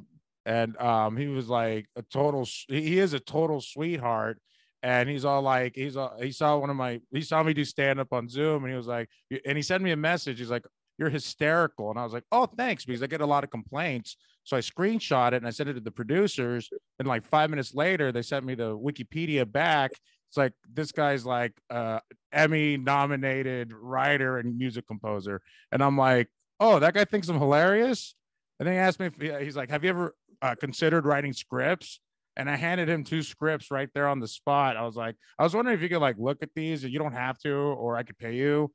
And like he was like super cool about. It. He's like my he's like my writing mentor now, and I'm just like, there I don't I, I, don't deserve this. I don't like I don't deserve you to give me these gems, but I'm so glad I asked. You know, maybe I am, but I don't like it's just like the line the, the the stars aligned in a certain way for me to talk to you today. You know, and uh, Linda Marcus Smith she was a big role in in this. I wanted to give her a shout out because I I was so excited about naming all the people that you know I had recorded episodes with and people that said that they were down to do it. And she she told me, hey, she just sent me a message at like two o'clock in the morning, just randomly, and she's like, "Do do you want to interview Tommy Chong?" And I'm like, and I got anxiety, and I was like, "Are, are you are you kidding me?" Like like like Cheech and Chong Tommy Chong. She's like, yeah, yeah, of, of course. I was like, yeah, absolutely. I would love to if he's down. If he's, I mean, I don't, I don't know what he's up to, you know, right now, the second, you know, like, you know, with the pandemic and everything and you know maybe he doesn't want to do it because I'm not a celebrity or I, I don't know. And it's like, oh no, no, he's a he's a sweetheart. I was like, oh no, I know he's a sweetheart. I'm just like, I don't I I just not sure if he's gonna want to do my podcast. So it's just like I'm like really like super uh, appreciative of you and your time and your wisdom and just everything because like to be honest with you like i i i didn't go to sleep last night it was like i took a fucking i'm sorry it's like i took a huge bag of coke last night i swear to god i didn't take any drugs okay i took sedatives but it's just like i um for my anxiety it was so um clonazepam. But any rate um it's just like I couldn't sleep. He's had anxiety because I'm just like, oh my God, I don't want to fumble this. And then I'm like, what's the worst thing that's gonna happen? It's like, dude, you're not, you don't, you, you know, it's not, it's not like I'm a racist and I'm gonna say something racist and then, oh well shit, I can't publish this now. Or, you know, it's just you know, it's just like, what's the worst that's gonna happen? You know, Tommy Chong's gonna think I'm an idiot or not funny or a fat slob or, or some comment. so it's just like these are the the insecurities that are like going on in my brain. So I'm just like, but but the, the, the gems of of just everything. And it's like also i had like a, I have like a bunch of like weed related questions but it's just like i don't want to undermine this interview because it's been so deep. I don't want to be like yo sativa hybrid it's just like dude i just talked to you about life and the the universe and how, how awesome everything i mean so i i just but but you know it's just I, I asked a bunch of people, like, does anybody have any questions for Tommy Chong? Because I'm going to interview him. And a bunch of I got a bunch of wow reactions, like could not believe it. And I'm just like, well, we'll see. You know, he might he might flake out. We, we don't, you know, maybe. But like, um, uh, I wanted to ask you this question because this this stuck out to me. Out of all the questions that I got, I got a ton of questions, and um, this is like this one stuck out to me, and it's uh, the character of Cheech played strongly upon the stereotype of the 1970s Chicano and Cheech's Mexican heritage. And one could argue as a result, Cheech became a Latin American cultural icon. In contrast, Chong's Chinese heritage is rarely emphasized, and there are very few Chinese American stereotypes applied to the character of Chong. Was this a conscious decision on the part of Tommy and Cheech? And if so, why did they make that choice? If it was not a conscious decision, do you have any thoughts as to why that dynamic ended up being that way? Good question. Well, the truth is, like you, you thought that I was Mexican, and uh, the, the truth is, yeah, I'm more Mexican than I am Chinese, because even though I, I learned how to cook Chinese. I had a Chinese girlfriend for a little bit because the Chinese uh, race really disowned me. You know, the minute, you know, the Chinese uh, by, by nature, they're very, very uh, racist in as far as tribalism goes, you know, uh, like if you, if, if you don't, it's like the French, You know, like if you're from uh, the country, you know, the French have a snobby way of treating you, as opposed to if you're from the city. And the Chinese are the same way. If you're mixed in any way, then you're not Chinese as far as they're concerned. Uh, and then if you are Chinese, then, then you're either Cantonese or Mandarin.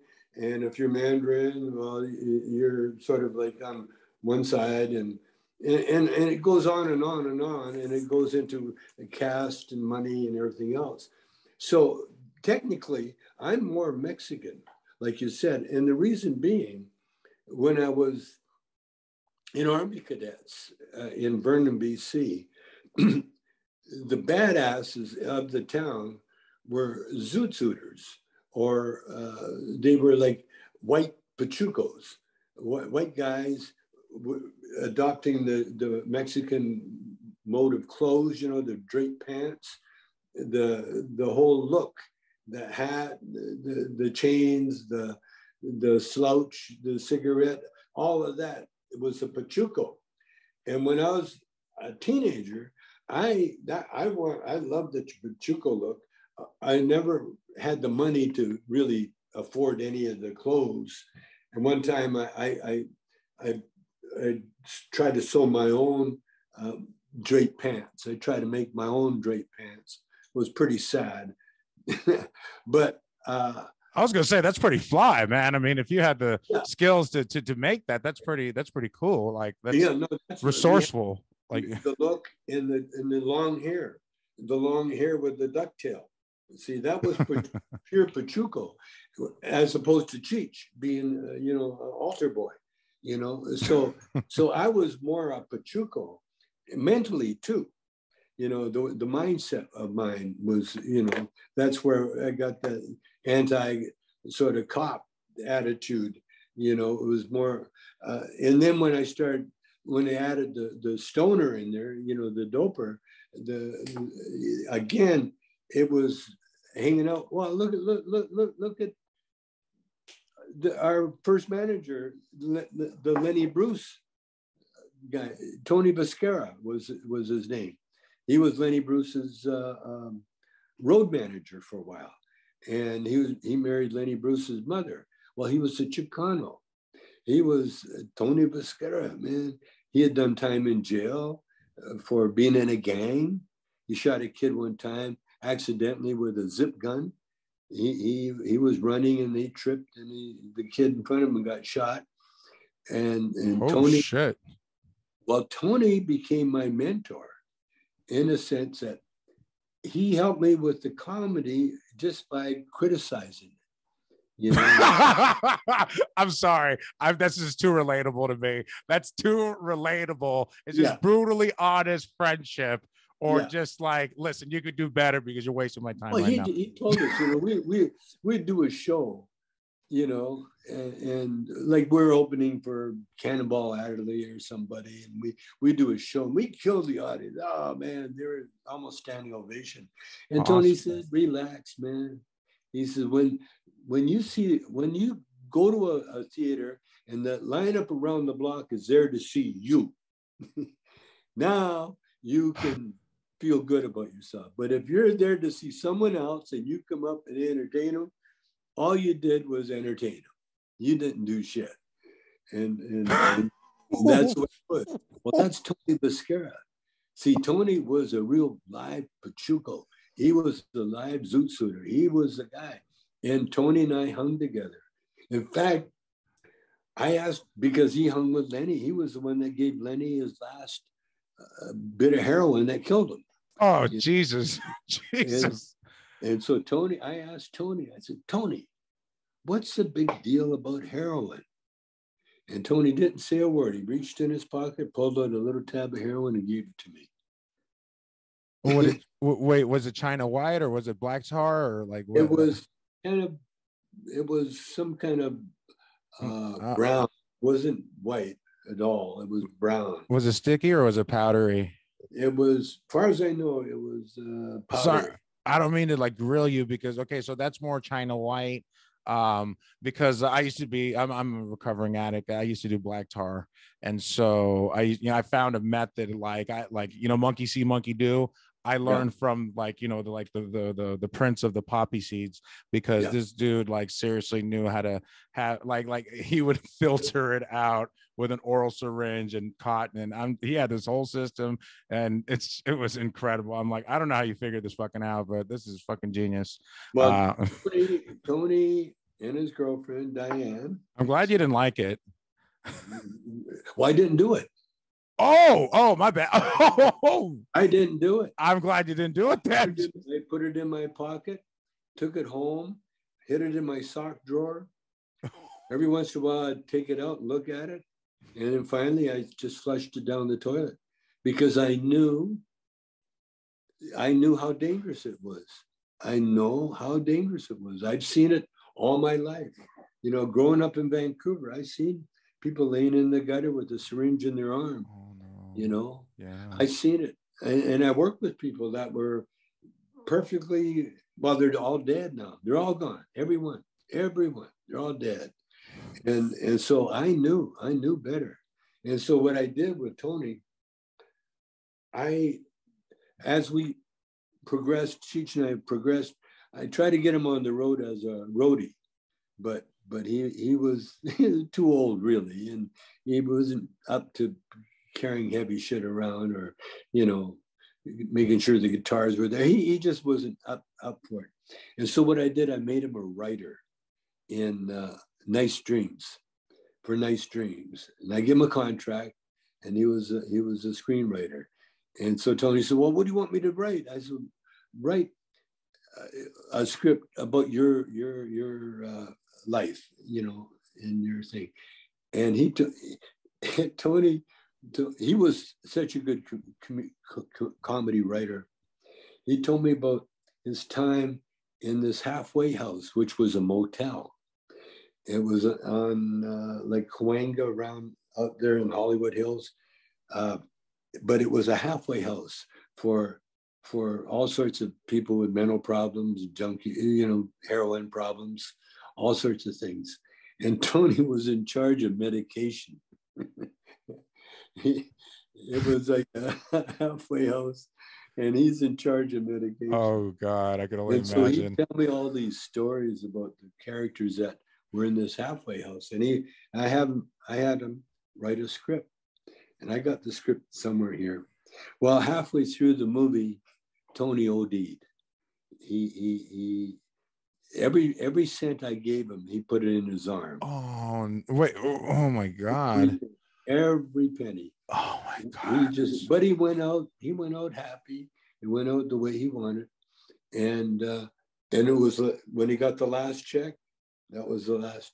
And I, and I get a call from the ambulance driver, you know, and they're driving Tony and they want to know, um, are you responsible for this man? And I said, no. oh my God. That's a hell of a phone. You're a man. What did he? That's a whoa. That, that's oh my god. That's that's because, horrible. How old was he? I, I didn't want to pay. I didn't want to pay that the the, the, the hospital the hospital bill. Oh, the whole thing. The whole thing. You know, thousands of dollars if you, if you pay it. You know, and oh so, so so anyway, Sally is um, his ex-wife actually, Lenny Bruce's mother she paid for the funeral. And we buried Tony in, he's, he's buried in a, a plot in, um, in the downtown LA or, you know, Riverside, you know, the, the funeral home there. And we had a couple of uh, comics. Jackie Gayle was one of the pallbearers. And uh, carrying Tony, he swore Tony everywhere we went. He's carrying Tony. You motherfucker! You would have to get the the the, the site on a hill. What the fuck, Tony? Why couldn't you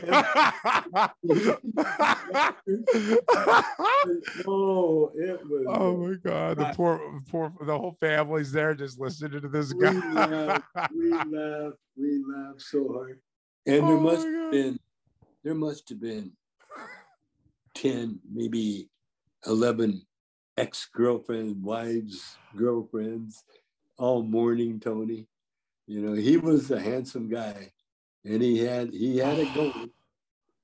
Oh yeah, oh, Tommy, yeah. I I I gotta say it, man, because like I have something in common with I I lost a friend who overdosed by accident uh, because it was laced with fentanyl, he was a he, he was a heroin user, and um, we went we went to his memorial and like you know it was a rough crowd because like nobody was clapping and people gave some really heartfelt speeches and then they opened it up and had these cordless mics and he had like girlfriend after girlfriend after girlfriend after girlfriend after girlfriend after girlfriend after girlfriend after girlfriend after girlfriend after girlfriend after girlfriend after girlfriend I, I there was at least 12 women that testified about Mark was my boyfriend. I used to go out with Mark. I was Mark's girlfriend.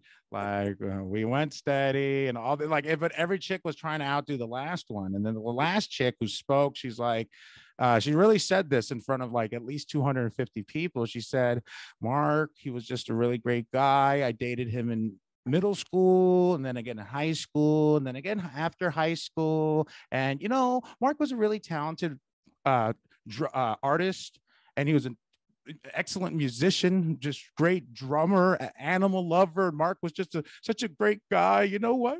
I wish Mark was here right now so we could rock my world one more time. Yeah. I was like, dude, she should have just dropped the fucking mic. It was, oh my God. I was like, that's how I want to go out.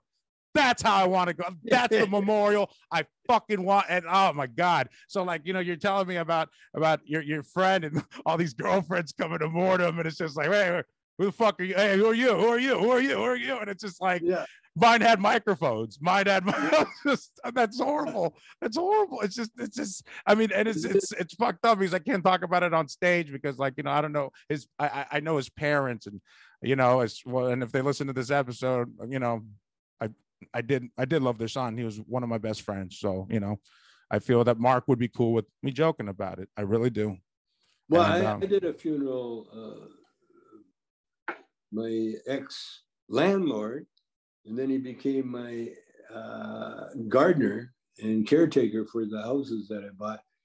Um, when he died, uh, I, I had to do the uh, uh, speak for it, and and so I did a bit that was true, you know, because um, because Frank Frank was Italian, and uh, I I got a he, he started right at the end of his life, toward the end of his life, he grew his hair real long and started smoking pot. You know, up until then he was a good, you know, straight uh, Italian uh, homeowner, gardener, you know, he was a master gardener. He, he had a farm in Italy. But anyway, the story I told was that he, he uh, was taking care of my house, and I had a apartment, uh, quite a bit of land in Bel Air, and the land went up a hill, and halfway up the hill was a, a, a natural stream, and so he built a cistern uh, with a natural stream, like a big pool of water, you know, and then he would uh, water the garden with that natural stream. But he also had an area where he grew something like about 40 pot plants. because I had hippies, I had hippies uh, work on my house. And, and they, back in the day, they would get their weed that had seeds in it. Yeah. And they would clean the weed and the seeds. And, and so Frank found this big bag of seeds. And so, you know, he told me I, I, I put a few plants here and, uh, everything grow, you know. Oh my God. Then yes. He, then he learned how to pee on the perimeter so to keep the deer away. And they grew to be 15, 16 feet high. Sativa. Oh, they were the best weed, some of the best weed I've ever had in my life. Really? And, That's awesome. Yeah. So I told him, but we had a neighborhood kid in the that was sneaking in and stealing uh, no weed. Yeah. Oh, what yeah. a prick. And so he come in there with a garbage bag And so Frank knew, you know, he could tell that where something was going on. And so Frank sat up there one night with with a gun in his lap, on his lap, and and waiting for the guy. Sure enough, the kid shows up, starts stealing the weed, and just then he, Frank says, "Okay, you son of a bitch, you drop it the bag, or I'm gonna shoot you in the ass." and when someone tells you where they're going to shoot you. Oh my god that is that is incredible. But so the kid so the kid stopped, he, he dropped the bag and then he of course he went home so i had a uh, so the next day frank told me what happened so i walked down to the i knew what house it was you know it was a rock and roll house and so I walked over to the house, and the music is playing real loud. I knocked on the door. Music stops playing. Dad comes to the door. Yes. I said, Listen, your son's been stealing plants out of my garden, and I want him to stop because he's going to get hurt. Someone's going to get hurt. He said, What kind of plants? I said, Marijuana plants. He said, Isn't that illegal? I said, Yes. So you tell him to stop fucking with my plants. And the, then the dad says, I'll tell him. and, and, that was it. No more, no more problem with the, with the kid. That was the end of it. Oh I, told that, I told that story at Frank's funeral. And there was the biggest, everybody, it was a release. Everybody laughed because that was so Frank. You know, he had the ability to grow and, and then to save the plant what he grew, you know.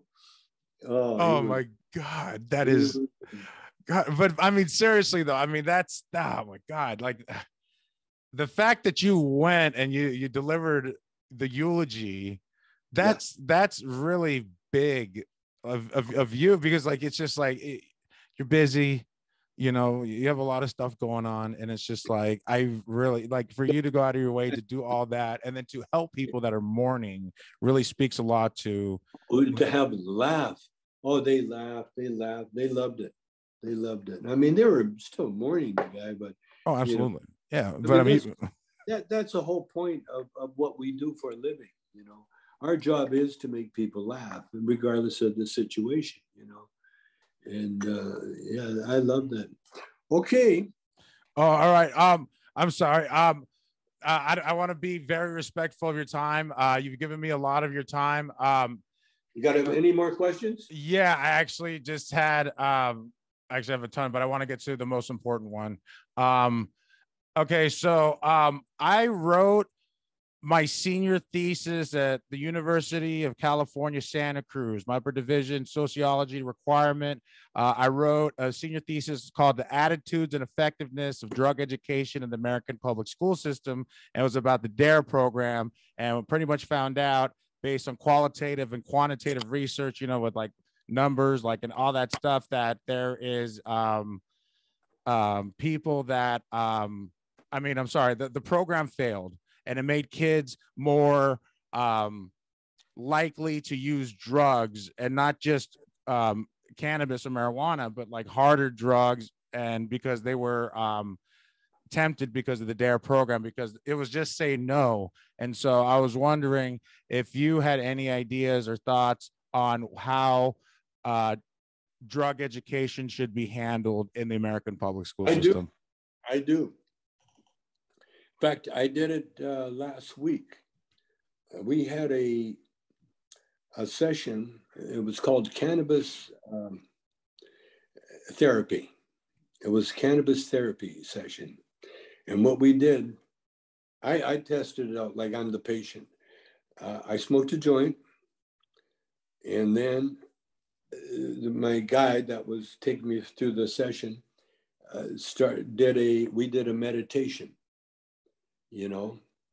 And then I put on earphones and I laid down and I listened to music, healing music.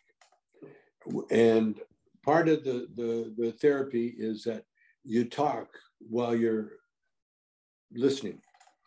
And, and words have a, a tendency to to linger longer if if it's done with music, you know. And what happens is that you're you're it relaxes the music relaxes your whole body, so you can take in a lot of a lot of information. And the information that I was uh, talking about was the power of, of God, the power of the human experience, the power of uh, the power that we have within us, and how to use that power. And uh, the the session lasted for about, I guess, about an hour. It could have gone on longer, but I I got I was so revved up with the with the idea. I kept thinking in my head how this could be used in therapy, you know, because it really is like a therapy session, only instead of using acid or any uh, ayahuasca or any any kind of uh, mind altering uh, substances, use cannabis because cannabis is more gentle on it, and it and, and you don't get taken away uh, that deep. You know, sometimes it's good. Well, for me, it was good, but it was only a one-time thing with the acid. But the cannabis is like daily. And so I, what I see now, doing halfway houses, rehab houses using cannabis therapy, where you smoke up or you you toke up with the bongs or whatever, and uh, and then you have uh, someone talk to you, talk to your subconscious more than anything, and remind you of who you are what you're capable of doing and and how how to to loosen uh, how to lose bad habits you know? And and and re- really the, the, only thing i would add to this now the way the, the, my guy did it uh, was that he used more um, uh, uh, more uh, yoga technique, you know, where where uh, you clear your mind and, and so on. I want to use more uh, music and uh, and the spiritual technique, the Goldsmith, the Goldsmith book, because I see um, if if you just read this is what I did with my daughters. When I was sick with cancer, I had my daughters come and read to me. Uh, and, and so as they read, it affected their life. And so this is an, an example, an ex- excerpt of, of the, the book called The Master Speaks. And as people are laying there with the headphones on, this is what they're hearing. Illumination dissolves all material ties and binds men together with the golden chains of spiritual understanding. It acknowledges only the leadership of the Christ. It has no ritual, no rule, but the divine, impersonal, universal love. No other worship than the inner flame that is ever lit at the shrine of spirit. This union is the free state of spiritual brotherhood. The only restraint is the discipline of soul. Therefore, we know liberty without license. We are un- a united universe without physical limits, a divine service to God without ceremony or creed. The illuminated walk without fear by grace. That's beautiful and very thought provoking and just I really like I, I like I've had I've had a lot of epiphanies talking to you today and uh, to to be honest with you like what I thought was going to happen and what happened, I, I'm so happy it worked out the way that it did because I really feel enlightened. I feel empowered and I really feel like I, I'm so lucky to just have you um, educate me with learning more about myself, learning more about what's out there, and to try to sell my script. Jesus Christ, what the hell am I doing? But uh, you, uh, you know, but no. Uh, is there anything you want to plug before I, um, we we we part ways? No, the only thing I want everybody to do, especially yourself, is to get these books. This is a Joel S. Goldsmith book. Okay. Okay. And and there's one other book. His name is Emmett Fox. Emmett Fox. And his is the Ten Commandments. Is the book that these are the two books that I read without without fail. This is oh no, this is a Patrick Lane book. No, I, I got the Emmett Fox always gets uh, borrowed or something. But get Emmett Fox, get Joel Goldsmith, and read them every night, and and read a different chapter. Uh, you you'll love them. You, you'll love him.